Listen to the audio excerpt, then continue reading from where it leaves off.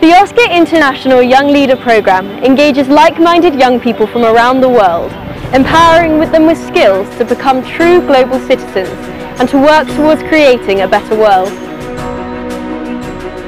As young leaders, we create valuable links between schools from across the world and the Oscar football and education programs. We do this by raising funds, awareness and organising events. We are young people from different ethnicities, races, socio-economic backgrounds, genders, religions and geographical areas from around the world. Being a part of this program enriches lives as well as creates better opportunities for children growing up in some of the poorest slum communities in India. What kind of global citizen will you be?